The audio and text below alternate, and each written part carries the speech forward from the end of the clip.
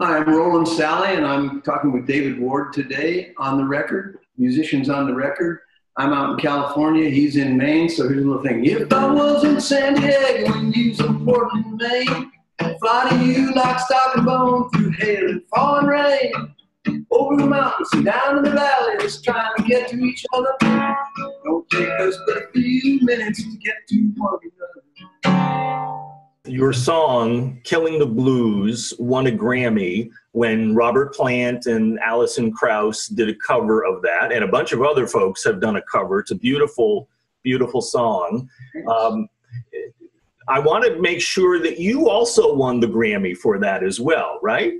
I do. It's uh, it's it's not in the picture. It's hanging on my wall, just around the corner there. I did win. One uh, wins a Grammy when uh, the song he's written is is you know elected to win win the award, and uh, no matter who sings it, uh, the songwriter likewise gets the uh, gets the you know accolade or whatever you want to call it. It was really nice to get it, and Alison Krauss and Robert Plant did a great job on that song. Unusual. I never intended to be a two-part harmony song, but man, they really nailed it. Yeah, they really did. Amazing version. Plus, Shawn Colvin has done it. Oh, Shawn Colvin. I mean, that's my personal favorite is Shawn's version of it. She, uh, she just, when I heard that, I just I fell down. it was so good. Yeah, amazing. Yeah, it's beautiful. It's a it's a haunting song, Rowland. And when I heard, I, I listened to the whole bunch of versions of it, including yours, which is great.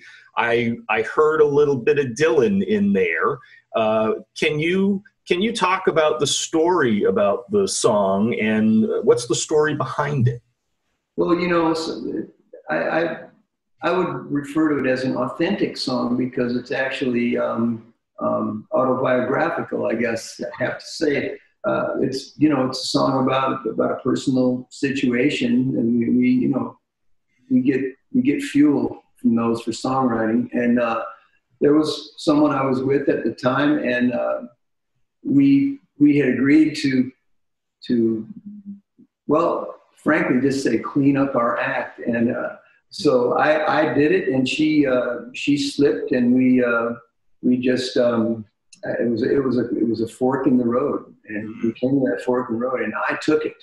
Mm, right. and um, uh, it was just um, it was it was it was a tough tough situation and i woke up one morning i was feeling so bad about it in my new little you know apartment up in woodstock new york and uh, made myself a cup of coffee and that song kind of fell out on the table maybe took maybe about nine minutes wow amazing when when did you write that song rowland it was a long time ago back in in, in the mid 70s yeah yeah and so, so you have been around a long time thankfully, right? Thankfully. Yeah. And so you wrote it and recorded it. Did you have any idea or or no, that wasn't the story of it? I had a good friend at the time in Woodstock named Jim Collier, who isn't with us anymore, but he's a fabulous songwriter, great singer. And we were just so, so close together. We would sing. We had a little band going. We were really great friends. And um, there was kind of this thing where, where when where he'd write a song and bring it in, and we we look at it together, and then I'd write one and bring it in. And it was kind of this thing where we were kind of a team, you know. And when we wrote, when that particular song, when I wrote it, I finished it, and I thought, I'm going to sing this for Collier because I think he'll understand for sure because he knows me. He'll understand where the song is coming from and everything, and I hope he likes it. But you know, when you write a song uh, like that, and it, you don't you don't belabor it too much, um, sometimes you're not sure if you've really written anything worthy or a good song or anything that'll stand up. It just comes so quick, and you kind of. So I put that away and said, I'll sing this tomorrow and see if, it holds water in the morning. So the next day, I kind of pulled out my guitar and ran it down. It sounded okay to me, so I played it for Jim, and then I played it for another friend of mine named Johnny Harold from the Bluegrass Boys back in back in the in the Village days. And he looked at me and he said, "That song." is going to go somewhere. He goes, I'll bet you a $100 right now that song will do something. And I shook on it.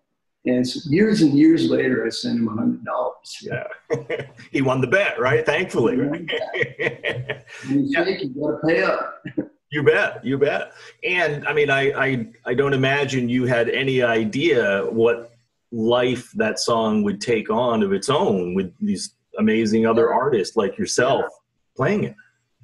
You, you never do. Um, uh, sometimes if you write lyrics that are that are pertinent to a certain time or certain certain events that are going on, like in a, in a given time, like really specific, the song may turn out to be more of a, of a specific time related song. But then other lyrics seem to sort of apply in general at any time. And if you're lucky, you can get a song you know, where you subtracted out enough of the uh, you know the current stuff and you, you get a broad meaning that, that sort of pertains to people in general and situations that people are going to be coming into throughout the history of mankind you you're lucky to get a song that will you know that'll stand up over time. But you don't you never really know